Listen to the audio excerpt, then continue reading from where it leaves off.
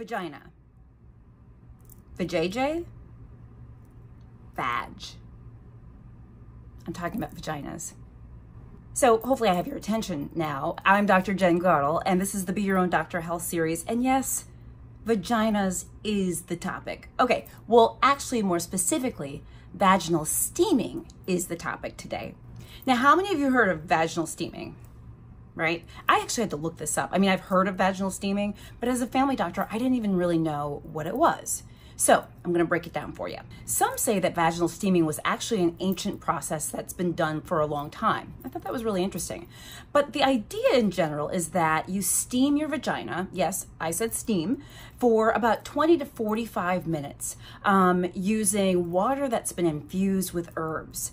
This vaginal steaming is supposed to do a lot of things. It's supposed to cleanse the vagina, it's supposed to like rejuvenate, it's supposed to help with reproductive organs, lots of things but that's not all. I actually found a few other things. Okay, so online it says, do, do, do, do, do, oh, that it can reduce menstrual symptoms, things like bloating, etc., cramps, exhaustion, heavy bleeding could be helped by vaginal steaming.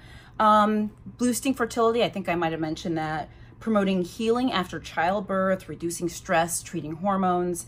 Um, so interesting, right? But you know what I'm going to say now. Can it or does it actually do these things? That's the question. The truth is, we really don't have many, if any, studies that suggest that vaginal steaming does any of this. Yeah, you heard me right. So you probably are getting the idea of what I think about it. And let's not forget about potential side effects. Uh, vaginal burns, anyone? Hello? Imagine putting some hot steam underneath your vajayjay. I can see some, I can just imagine patients coming into me with vaginal burns because they've been steaming their vagina. Please don't, okay? Please. But in addition to the potential injury that may happen from like putting steam underneath your vagina, the other thing is that honestly, the vagina is perfect just the way it is. No, I really mean it. It's totally perfect. And I say this because it is. It's like an oven, meaning it's self-cleaning. You don't need to do anything other than wash it to keep it the way it needs to be. And honestly, it kind of self-cleans itself. You don't need other stuff. And in fact, sometimes things like douching and steaming and all that stuff might even introduce bacteria or change the, the, the um, natural bacteria that the vagina has and make you more susceptible to other infections. So I think you're getting where I'm going with this. The question is, should you steam your vagina? No, no, no, let me rephrase this. Do you need to steam your vagina? Well, no. Nah, girl. Mm-mm.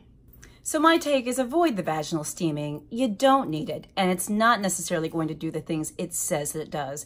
My vote is, look, if you got hemorrhoids, you got problem with fertility, you got heavy periods, or all those things that vaginal steaming says it helps with, you really need to be seeing a doctor we can help you with these things, I promise. So with that, thank you for joining me. I hope you take this advice to heart and think twice before trying to steam your vagina. Uh, I'm your host, Dr. Jennifer Caudle. I'm a family doctor. Thank you for joining me on my Be Your Own Doctor Health series. Make sure you follow me on all platforms because, of course, I want to connect with you everywhere.